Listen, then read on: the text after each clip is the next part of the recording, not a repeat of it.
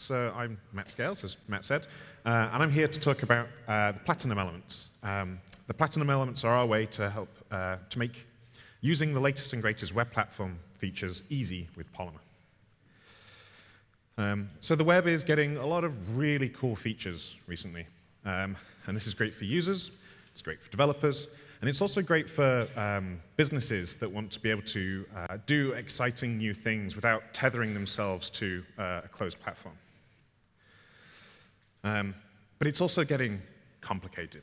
There's a lot to learn now. Um, and realistically, you can't learn all this stuff anymore. Um, now, these, um, these new features are actually they're so powerful because they're very deep. Um, so what can we do about this? Well, luckily, there's an element set for that. Um, so what we've done is we've created the Platinum elements set. And the idea here is that these elements wrap these uh, complex APIs and provide the, uh, the most obvious use cases um, simplified out so that you can uh, just drop them in. Um,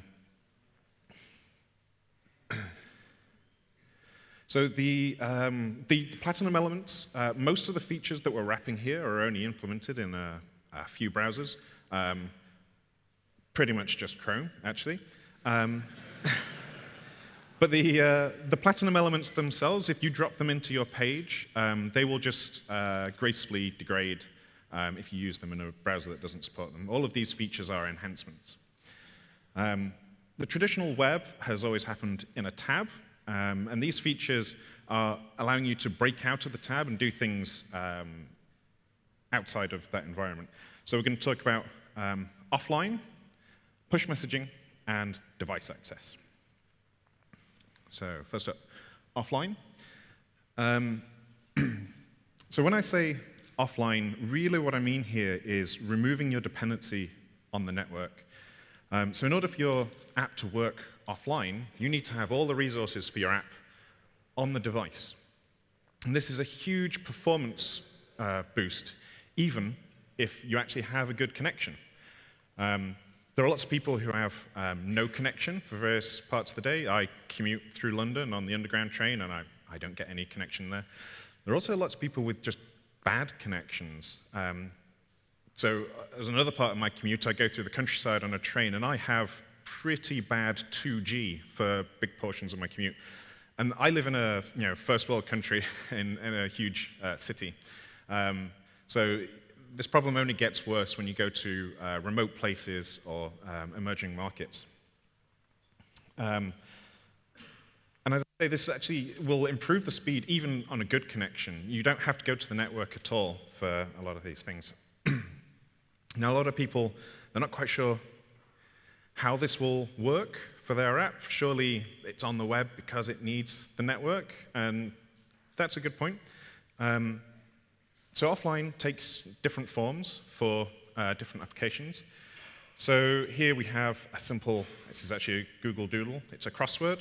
This can be entirely offline. There's no online component here at all. You put all the resources in the local cache, you load them all up, um, everything will just work.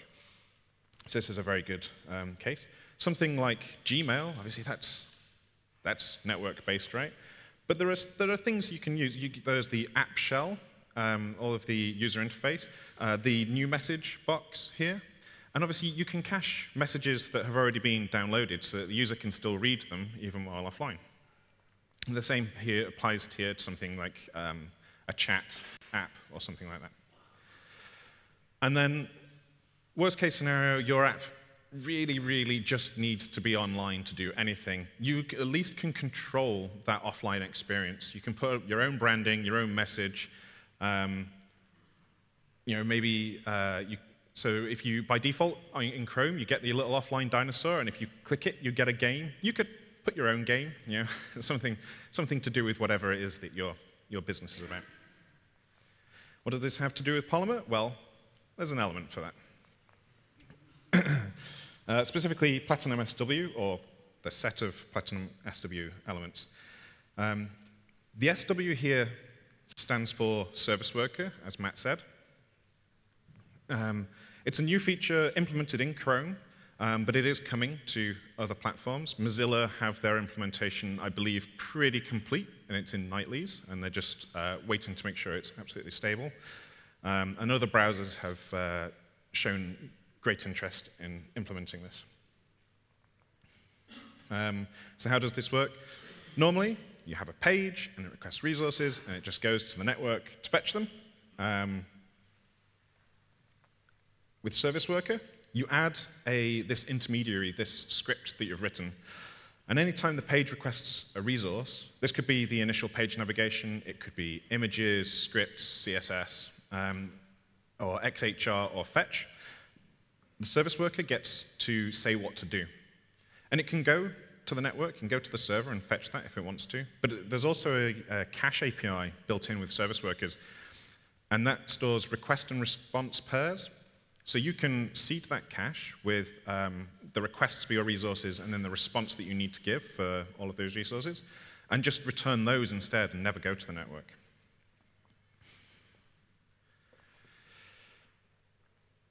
Uh, and now, thanks to Platinum SW, you can get the benefits of using Service Worker um, just by adding a couple of elements to your page. Um, so Platinum SW register here just says, I'd like a service worker in my app. That's not really going to do a great deal in its own, but we configure it by adding some elements inside. I don't know what happened to the formatting error. Um, so Platinum SW fetch allows you to say how to handle certain kinds of resources. So you see here that we've got this um, path. So anytime a resource is fetched that matches this path, um, or this path pattern, um, we, are going to handle it in a particular way. And you can set these up um, for as many different um, parts of your site as you like. Um, Platinum SW cache, I'm just going to point out this bit here first, the pre-cache. This says to the, uh, to the app, as, soon as the, as soon as you load this, I want you to put all of these things into the cache straight away. These are the critical parts of my application. So as soon as I load, put them into the cache so that they are there for the very next time that the page is loaded. So here I've just got, uh, as an example, index.html and the uh, CSS file, but you'd put in JavaScript and images and whatever you needed to show probably your home page and maybe the, app, uh, the shell of your app. Uh, and I kind of skipped over this um, before. The, so there's a handler in the fetch, and there's a default cache strategy in the uh, cache element. Um, they're both set here to network first, but that, in there you put in um, what you want to happen for these resources. Uh, and the one in the, uh, the default cache strategy is what should happen when uh, the current resource being loaded doesn't match any of your fetches. Uh, so what's all that about? so there are a bunch of different cache strategies built in. Um, network only is the simplest one to explain because basically the service worker doesn't do anything. It just lets it go straight through to the server. Um, network first will, so for that resource, we try and fetch it from the server. Uh, and if that doesn't work for some reason, then we'll look in the cache instead. This is uh, better than not doing offline at all. Uh, but it's slightly problematic because the, that network connection, if it's just a bad connection, it could take two minutes for that to time out, which would be terrible performance. Uh, so better performance, cache first. If we have that resource in the cache, load it straight from there. Don't even consult the network. That one's um, always going to be much faster for stuff that you've got in the cache. If it does go to the network, then when that's fetched, it sticks it in the cache for next time. So you can use this for um, what we call read-through caching. Uh, and then my favorite one uh, is called fastest, um, which is basically you go to the cache, you go to the network, whichever one comes back first, use that. Um, usually, for anything that's in the cache, this will be whatever is in the cache. Um, not always, apparently. Um, but uh, when that network request, because the network request always happens and it always updates the cache when it comes back, it means that you're, always, you're only one refresh behind. Um, so you're still you're, you're slightly stale, perhaps. Uh, and the, the even better one, I guess, is your own thing. You choose the behavior that you need for your application. Um, so we had one that was um, network if fast enough. um, so it would, it would try the network, and then there would be a set timeout just after 500 milliseconds said, no, you're too slow, go to the cache instead. Um, so that you try and get the, uh, the thing from the, uh, from the network. Okay, so with these building blocks, we can build all sorts of different um, applications uh, or ways of dealing with offline in your application, sorry. Uh, so simple read-through caching, you could set it up so that you don't have any fetch handlers. You have um, a default cache strategy of uh, network, network first or cache first, whichever you like. Um, and that will just, every time a resource comes through, it will try the network. It will have to go to the network first, but then it will stick it in the cache. And then next time, you can get it from the cache. Um, so it will build up the cache as the user goes around, but you don't do any pre-caching. You can obviously pre-cache all your resources, as I said before, so that most of your app works offline straight away. Some resources you'll have like uh, a huge header image or something like that. Um, maybe you don't want to store um, large resources, videos and things like that in the cache. So you say those ones are network only. Uh, and you can implement um, fallback uh, media instead so that you, uh, by creating your own handler, you could say for these resources, um, if the network is available, get it from the network. Otherwise, we're not going to bother caching these things. Just you know, send back a thumbnail saying, you're offline, you can't see this, click to try loading it again, something like that. And you can also have user-defined uh, caching. So if you're browsing uh, blogs, uh, blog articles, for example, maybe they'll have a little button that says cache this to read later. Okay, so next up we have um, messaging, uh, push notifications in particular. So these are notifications that appear on your device because something happened on a remote server. Um, some trigger that completely outside the application. Uh, so here we have um, an example of this. There's a, uh, this demo was created by uh, Monica, who's actually speaking later. Um, so here, um, you, you, these are for people who want to receive notifications about cats, and who wouldn't? Um, so you, uh, you toggle the button on, say, I would like to receive notifications. You get a little um, permission dialog in Chrome. Um, which is actually important. We don't allow uh, applications to show notifications unless you have that permission. And that's why we have this UI element, so that the user clicks it and then they get the permission notification, uh, permission dialog, because then, um, then there's context for that decision. The user knows why they're having to um, click that button to say they want notifications. Um, later on, someone comes along and clicks the send cats button, um, and then later, uh, notification arrives. Um, and this could happen um, while a device, uh, while Chrome is completely closed. Um, and it could happen um, a long time after. And you get the notification, you click it, and in this case, you get a picture of a cat, which is perfect. Now, how did we achieve this magic? There's an element for that, obviously. Um, Platinum push messaging. Um, as well as sending cats, you could use it for more serious things, breaking news, chat messages, new email, that sort of thing. Anything you get a notification for on your phone already. Um, Platinum push messaging allows you to do the configuration of all this right in your application. The, the server side here is more complicated, and I'm going to just gloss over it and pretend it isn't there, but for anyone who's implemented push messaging on Android, uh, the, Chrome, the setup for dealing with Chrome is exactly the same as using Google Cloud Messaging on Android. A bit of uh, client configuration at the moment, and we hope this will go away in the future. But right now, you need a, um, a web app manifest file, and in there, you need to have at least this GCM sender ID, which you get from the uh, Google Developers Console. Again, kind of going to gloss over that here. So here's the actual, the actual element. So here we've just defined statically what that uh, what those notifications are going to look like. Um, so uh, we've got a title, a body, an image to show, and a URL to go to when we click. um, you can actually set all sorts of other um, things on this notification, like even the pattern of vibration that should be, uh, the device should use when the notification is shown, which is pretty cool. But it's a bit boring to have the same message every time, so instead we have this configuration option, um, this message URL. This URL will be fetched when uh, it's about to send, uh, pop up a notification, and that will instead have a bit of JSON that describes what the notification should look like. It has all the same options. And this allows you to dynamically make those notifications based on whatever data your server has at the time. Um, here I've got a, a, simple URL, it's just um, .json, but obviously you could put in query parameters or something like that that are specific to the current user so that you can get um, message details that way. There is actually, in the future, you'll be able to just have the element with no configuration because you'll be able to send a body with the push notification, uh, but that isn't actually implemented yet.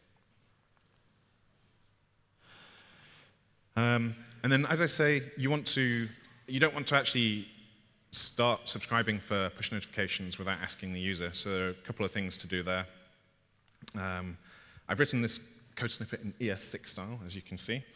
Um, so we get a reference to the element, and then we hook up the toggle button uh, to a little function that just says if you've just enabled it, um, run the enable method, and if you've disabled it, run the disable uh, method. Uh, and then finally, when the subscription information changes, we get an event, and we can send that subscription information up to the server, which will then know how to send messages to you.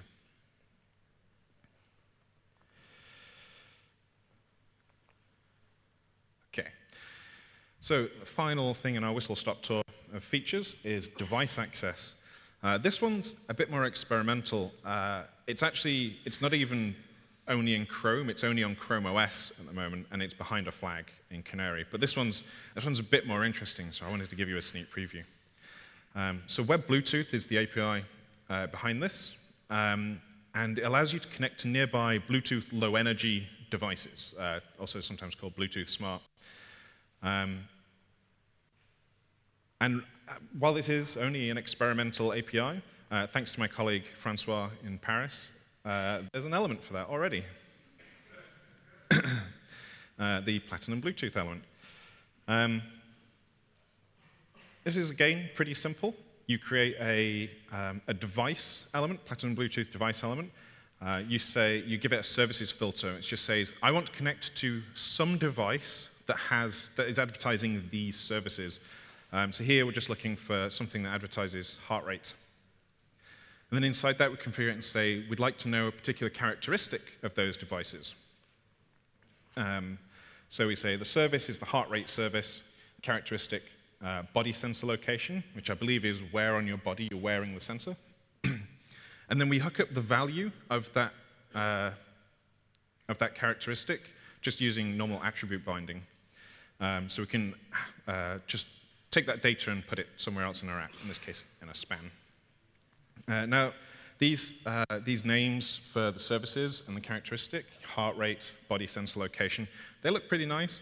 Um, unfortunately, not every device has the uh, services and the characteristics with nice names. So you may have uh, a UUID, a long string of uh, hexadecimal digits, um, but you can probably find those in the documentation for whatever device you're connecting to. Um, and then Similar to the notifications, you don't want to actually pop up the dialog that says, hey, I'd like, to, I'd like you to choose a device to connect to, um, unless the user is trying to do that. So you get a, a, reference to the device element, and then you call request, say that you'd like to actually talk to it. And then when you want to read, because Bluetooth Low Energy is usually for passive devices, um, the, the values aren't like um, streamed to you. So you have to call read to um, make that property update. But you could do that in a set timeout or something like that, or when a, a button is clicked. Um, Bluetooth, does, uh, Bluetooth Low Energy does have the concept of notifications, which will mean that you can get an event when uh, the values change. Uh, that isn't actually implemented yet in, uh, in the Bluetooth API. So it's not implemented in the element either. Uh, not all BLE devices are passive, though. And we, there was a cool demo produced um, by a Googler with the Bluetooth API. I just wanted to show you a little bit. So what he did is he got, he got this Grumpy Cat toy, and he attached some helium balloons to it so that it would fly. And then he took a, put a little Bluetooth chip inside, a little Bluetooth module, and stuck a rotor in its backside. and then with this little um, control panel, he then just uh, made it fly around his apartment. Ooh. I apologize for the quality. So.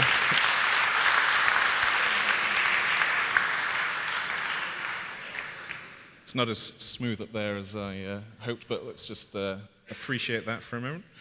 Um, so that was a whistle-stop tour of uh, new features coming uh, thanks to Polymer. Um, thank you very much. Um, you can learn more about the Platinum elements at this link here, and there is actually a Web Bluetooth Code Lab available in the Code Lab area. And I believe we have some Chromebooks up there if you want to try it out. So thank you very much.